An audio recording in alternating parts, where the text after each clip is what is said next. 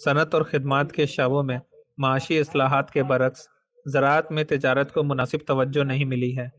हाल ही में मंजूर शुदा फार्म के कानून ज़रात के लिए उन्नीस सौ इक्यानवे लम्हे बन सकते हैं, जबकि खाने की पैदावार, सार्फियों की अशिया की कीमतों वगैरह में इजाफा हुआ है, लेकिन एक किसान को मिलने वाली कीमत इसके मुकाबले कम ही रही है। इससे बहुत से किसान गहरे कर्जों में डूब गए हैं। किसानों की खुशहाली सिर्फ़ पैदावार बढ़ाने में नहीं बल्कि इस पैदावार की कीमत बढ़ाने में है। अब तक की जरी पॉलिसियाँ किसानों को मुआवजे की कीमत देने में नाकाम रहे हैं। अब वक्त आ गया है कि हम नई पॉलिसियों का आगाज़ करें, जिससे किसानों को बेहतर कीमत मिल सके। ये एक हकीकत है कि मार्केट में किसान के पास सौदेबाजी की ताकत नहीं होती है।